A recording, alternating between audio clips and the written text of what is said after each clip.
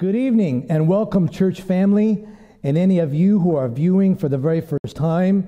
It's our joy that you've all decided to join us on this Good Friday evening service via the web. Doubtless it's clear to all of us that this has been a holy week like none other in church history. And though we are physically apart out of love for our neighbor as a result of this crisis, we believe that we are united by God's Spirit, for He is omnipresent, that is, He is everywhere present. We also believe that God is the same, unchanging, the same yesterday, today, and forever. And where God's word is heard, God's voice is heard. God is speaking. And so that's our prayer that the Lord will speak to each of us tonight as we spend this time reflecting upon the crucifixion of our Lord Jesus Christ. The focus on Good Friday traditionally is upon the crucifixion, its meaning, its significance. But the crucifixion should never be considered apart from the empty tomb, the resurrection. Together, they comprise the core, the heart of the Christian message. Nevertheless, tonight we'll be focusing primarily on the cross, the crucifixion of the Lord Jesus Christ. We'll do so through songs of praise, through extended readings from Scripture, and lastly, through a brief exposition from Romans chapter 5 and Romans chapter 8. Join me now as I pray and we begin our time together. Lord in heaven, meet us, dear God, in the person of your Spirit, wherever we are, Lord, and do a work in each of our hearts, we pray. Be magnified now. In Christ's name.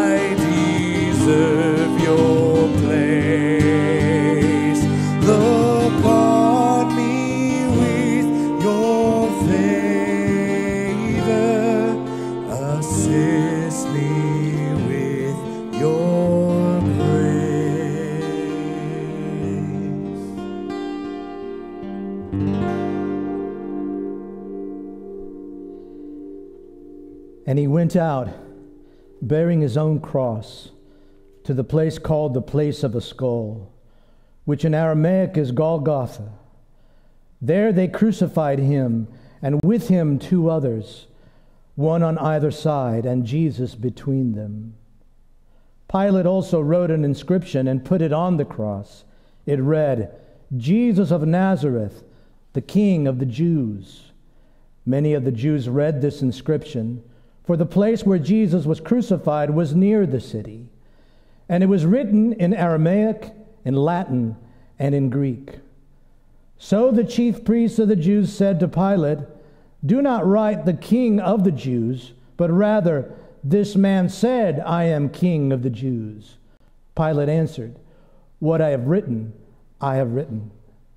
When the soldiers had crucified Jesus, they took his garments and divided them into four parts, one part for each soldier, also his tunic.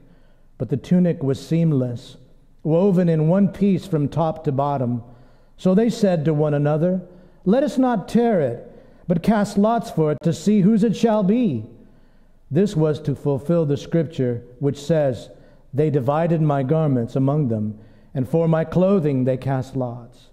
So the soldiers did these things, but standing by the cross of Jesus were his mother and his mother's sister, Mary, the wife of Clopas, and Mary Magdalene.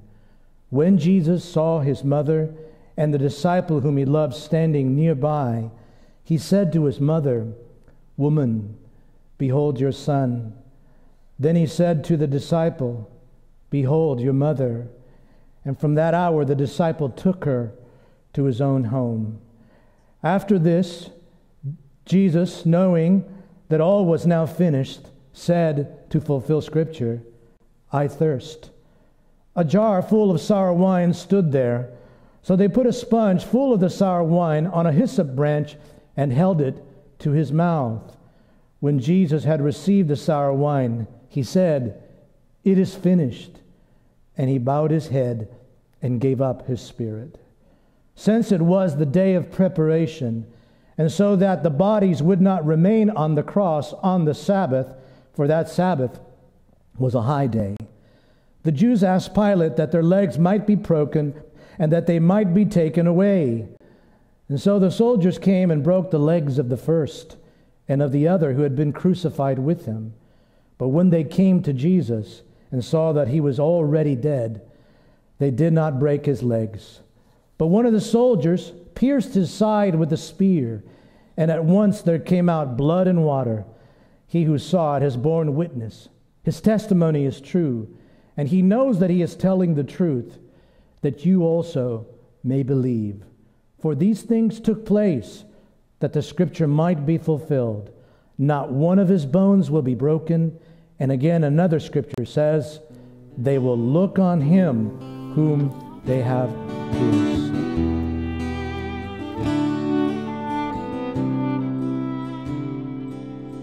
Alas, and did my Savior bleed, and did my sovereign die?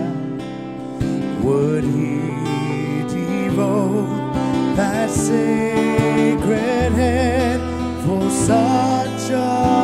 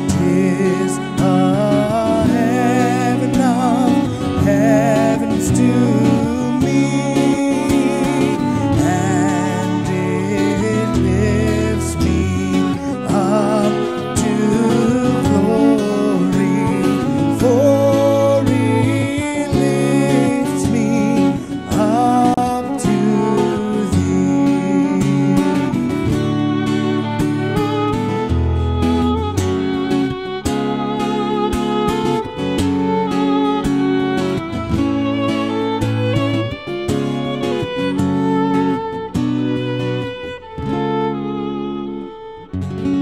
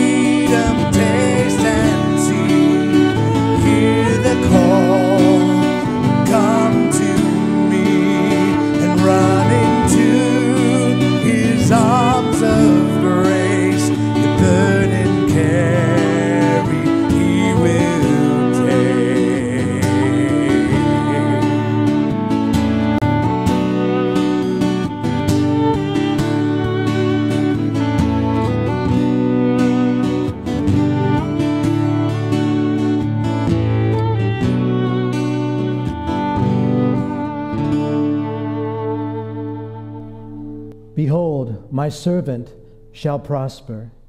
He shall be high and lifted up, and shall be exalted. As many were astonished at you, his appearance was so marred beyond human semblance, and his form beyond that of the children of mankind. So shall he sprinkle many nations. Kings shall shut their mouths because of him, for that which has not been told them they see, and that which they have not heard they understand. Who has believed what he has heard from us? And to whom has the arm of the Lord been revealed? For he grew up before him like a young plant, and like a root out of dry ground. He had no form or majesty that we should look at him, and no beauty that we should desire him. He was despised and rejected by men, a man of sorrows and acquainted with grief. And as one from whom men hide their faces, he was despised, and we esteemed him not. Surely he has borne our griefs and carried our sorrows. Yet we esteemed him stricken, smitten by God, and afflicted. But he was pierced through for our transgressions, he was crushed for our iniquities. Upon him was the chastisement that brought us peace, and by his wounds we are healed. All we, like sheep, have gone astray. We have turned every one to his own way, and the Lord has laid on him the iniquity of us all. He was oppressed, and he was afflicted. Yet he opened not his mouth, like a lamb that is led to slaughter, and like a sheep that is before its shears silent, so he opened not his mouth. By oppression and judgment he was taken away. And as for his generation, who considered that he was cut off out of the land of the living, stricken for the transgression of my people? And they made his grave with the wicked and with a rich man in his death, although he had done no violence, and there was no deceit in his mouth. Yet it was the will of the Lord to crush him. He has put him to grief when his soul makes an offering for guilt. He shall see his offspring, he shall prolong his days. The will of the Lord shall prosper in his hand. Out of the anguish of his soul he shall see and be satisfied. By his knowledge shall the righteous one, my servant, make many to be accounted righteous, and he shall bear their iniquities. Therefore, I will divide him a portion with the many, and he shall divide the spoil with the strong, because he poured out his soul to death and was numbered with the transgressors. Yet he bore the sin of many and makes intercession for the transgressors. While we were still weak, at the right time, Christ died for the ungodly. For one will scarcely die for a righteous person, though perhaps for a good person one would dare even to die. But God shows or demonstrates his own love toward us in that while we were still sinners, Christ died for us. Since therefore we have now been justified by his blood, much more shall we be saved by him from the wrath of God. For if while we were enemies we were reconciled to God by the death of his Son, much more, now that we are reconciled, shall we be saved by his life. What then shall we say to these things? If God is for us, who can be against us? He who did not spare his own son, but gave him up for us all, how will he not also with him graciously give us all things? Who shall bring any charge against God's elect? It is God who justifies. Who is to condemn? Christ Jesus is the one who died, more than that, who was raised, who's at the right hand of God, who indeed is interceding for us.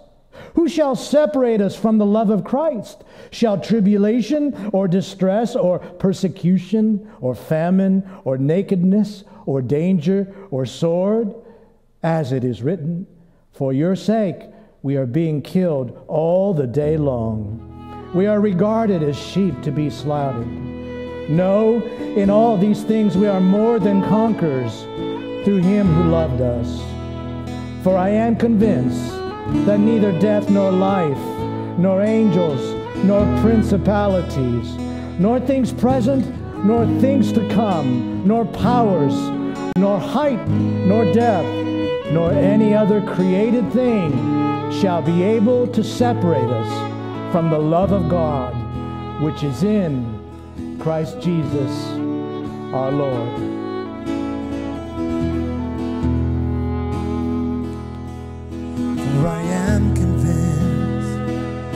Neither death nor life nor angels nor principalities. Nor things present nor things to come nor powers nor height nor depth nor any other created thing shall be able to separate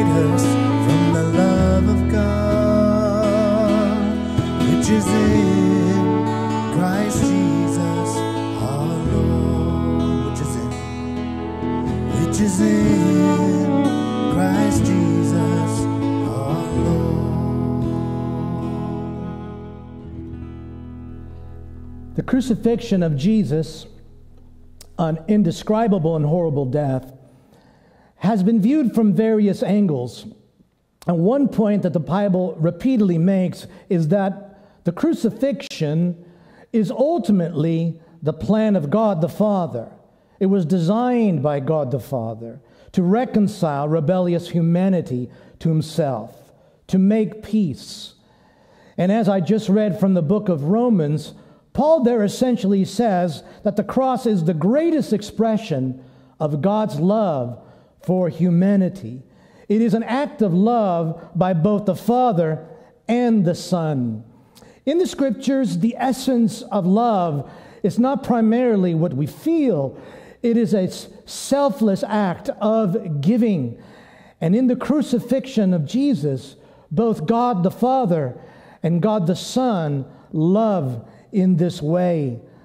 John 3:16 says for God so loved the world speaking there of the Father that he gave his only begotten son that whoever believes in him should not perish but have everlasting life. In Galatians 2:20 Paul says the son of God loved me and gave himself for me. The crucifixion of Jesus is an act of love a self giving love of both the Father and the Son, which is applied then by the Holy Spirit. And in the cross, therefore, we have the Trinitarian work of God Father, Son, and Holy Spirit. This love, the love of God in the, in the cross of Jesus, is the foundation of Christian hope. Christian hope is, is not a, a, Uh, of uncertainty. Christian hope looks forward, it is a full assurance that what God has promised us in His future, that is, salvation at the final judgment, participation in the resurrection, in the new heavens and the new earth, all this and more, that what God has promised us in the future will be sure to be fulfilled. But why? Why should we trust God's promises about tomorrow? Why should we believe in the resurrection of the dead, in the new heavens and the new earth? Well, Paul would say, look back. To have for hope as you look forward, look back, look back at the cross of what God has already done for us, what God has already given. How could God not love you in the present now that He has made you His child by giving His only begotten Son for you? How could He lie to you about the future, you see, if what He's already done for you is the greatest expression of His love? And so, what Paul does in both Romans 5 and Romans 8, where I read, is he argues from the greater to the lesser. After all, what did the crucifixion, the death and burial and resurrection of Jesus achieve? Well, Paul summed it up this way in Romans 5. He says, We were reconciled, made right, reconciled to God by the death of his Son when? While we were still his enemies. It's fair to ask, why so? Why was the cross necessary?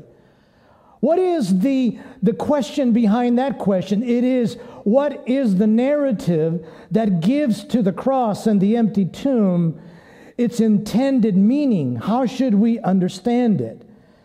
Well, the Bible tells us that God is a loving creator who has given to humanity all that we needed and created a deep intimacy in fellowship with humanity. But human beings have rejected God. We chose autonomy, we chose self rule, we chose to decide for ourselves what is right and wrong and have marginalized God. We're making God in our image. And in God's moral universe, this has consequences. We are alienated from God's. Scripture says, Your sins have separated you from your God. We have guilt and face condemnation. Condemnation, Scripture says, the wages of sin is death.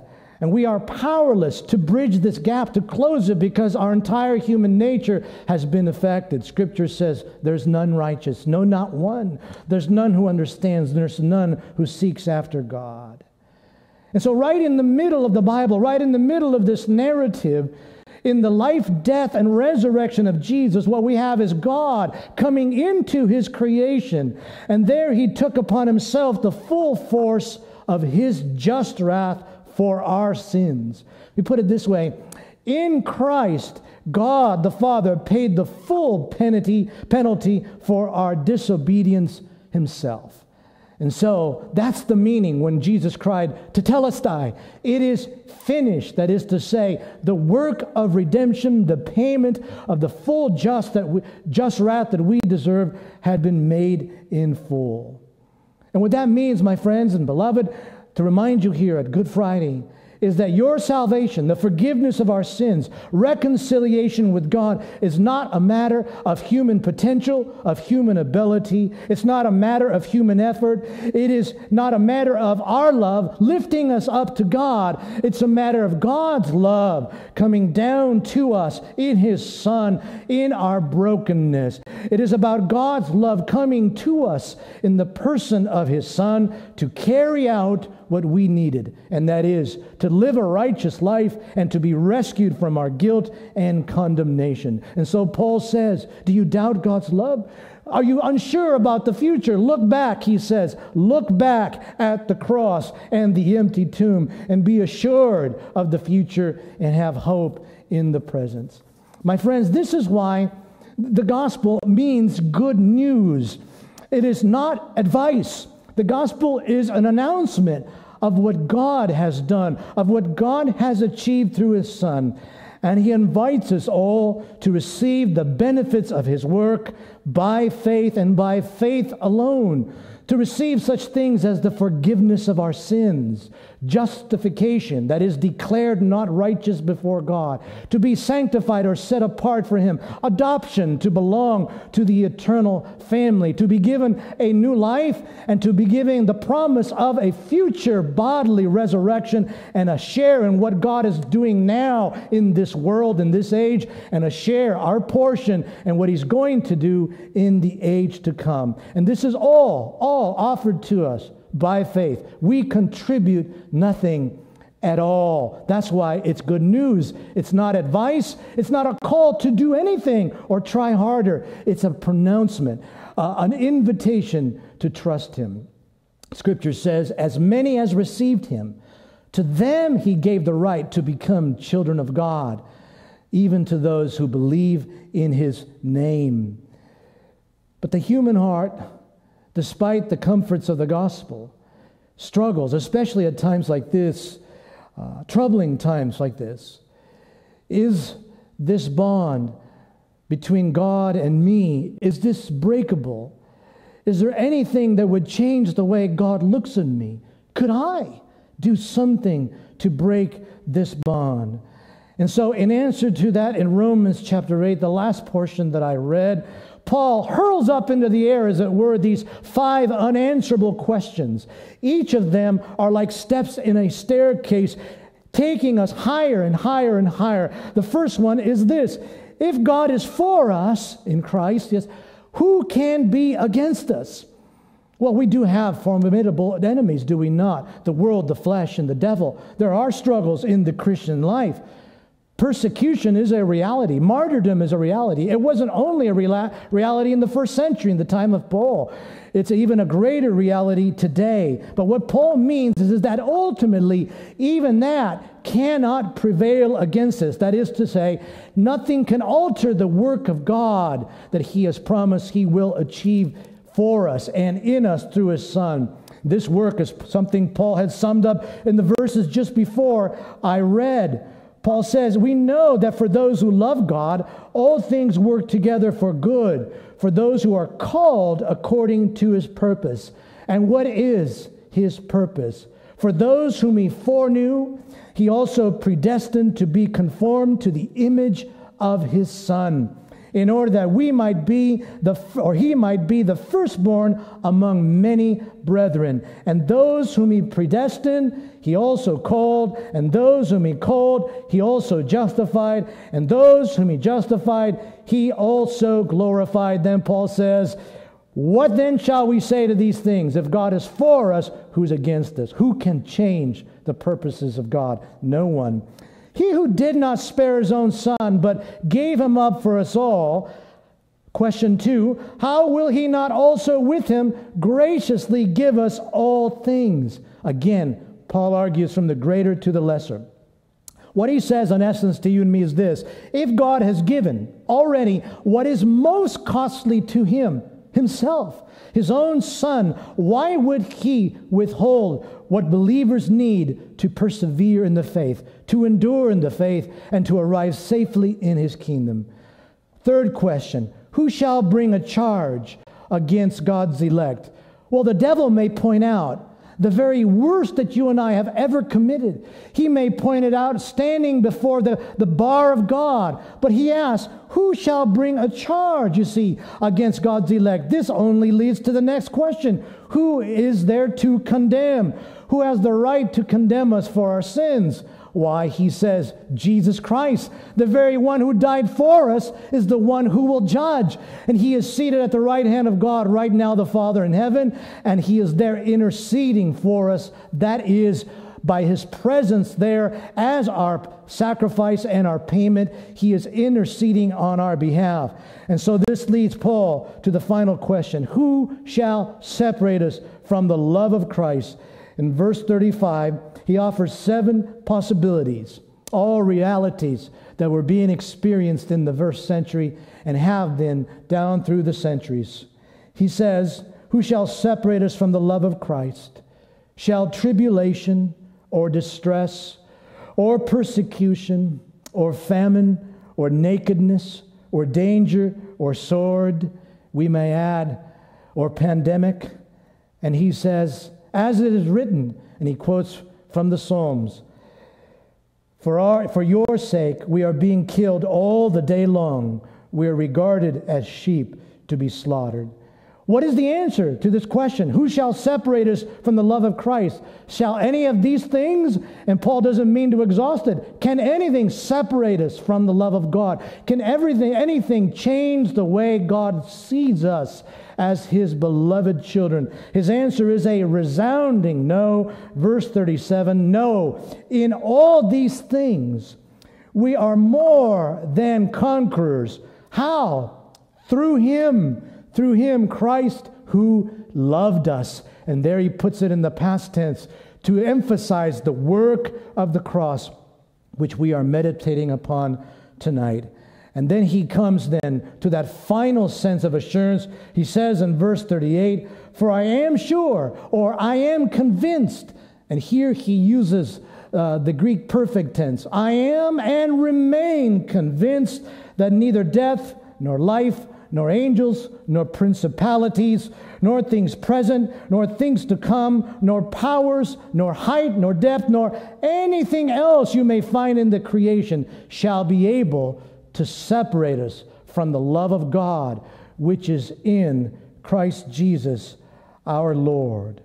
The climax five unanswerable questions regarding God's love.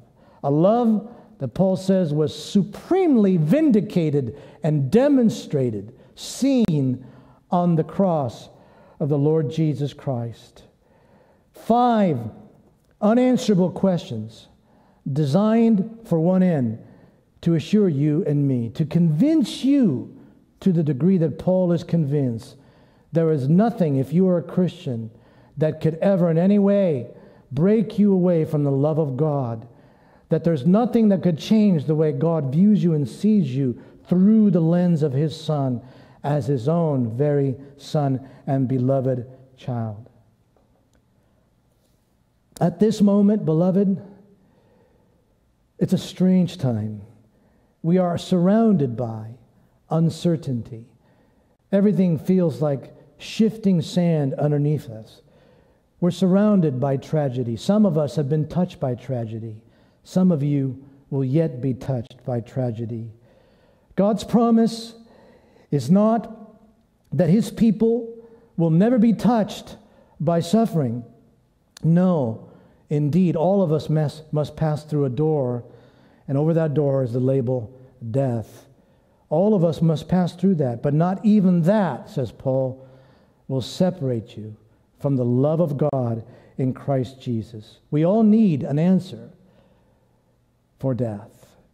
We all need an answer for tragedy and pain in this life. And Paul says, Look to the cross and the empty tomb, and there you see and receive the love of God.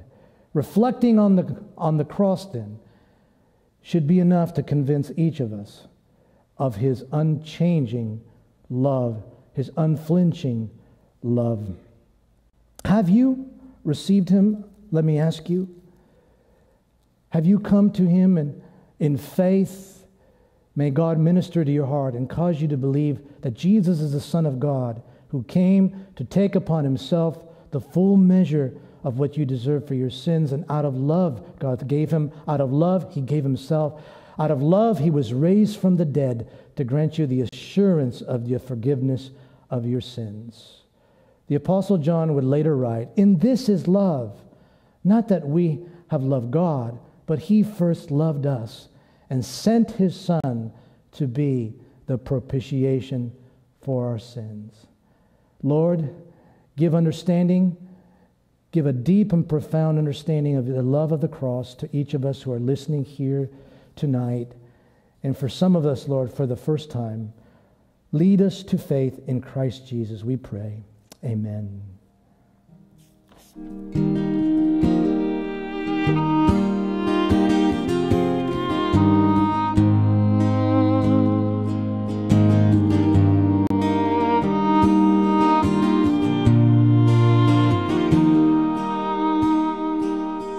How deep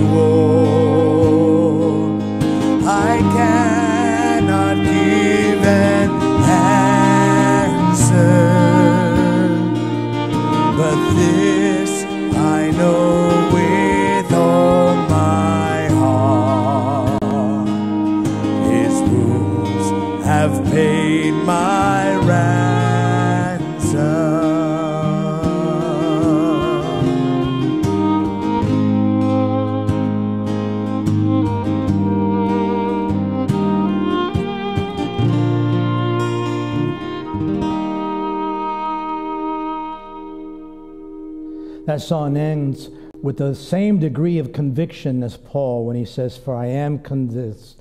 For this I know with all my heart, his wounds have paid my ransom. Do you know that? I hope you do. If not, we invite you to continue to consider the gospel message, especially those of you perhaps who listened tonight for the very first time, uh, checking in with us. Please come back on, on Easter Sunday morning at 9 a.m. and then again at 11, 15, 11.30, we will post what we live stream at 9 a.m. and listen to the message of the empty tomb. If you need other resources, we'd like to point you to our website, and there you will find some resources. You will come there to uh, a page that I believe is being posted right now there for you welcome.graceforus.org. And there you'll find a link to an online Bible if you, if you need a Bible, have never read the Bible directly, uh, a further explanation of the good news. And then also you'll see there a prayer link. There you can follow that link and let us know how we can be praying for you. Please feel free to contact us. You'll also find our, our general email there at the homepage of our website. Well, it's been a joy to be here with a few to present this ministry to you. We hope and trust that God has ministered to you. Seek Him with all your heart. When you seek me with all your heart, says God, you will find me. Lord, be with us the remaining time of this weekend. Give us a deepening understanding, Lord, of what is truly uh, valuable in life, what our treasure should truly be. And meet with us, dear God, and every other church, Lord, across this globe that is whatever, Lord, they're streaming live, Lord, or recording the Easter message, Lord, wherever the gospel is truly preached, Lord, come and bless your word, we pray, for Christ's sake. Amen. May God richly bless you. So long.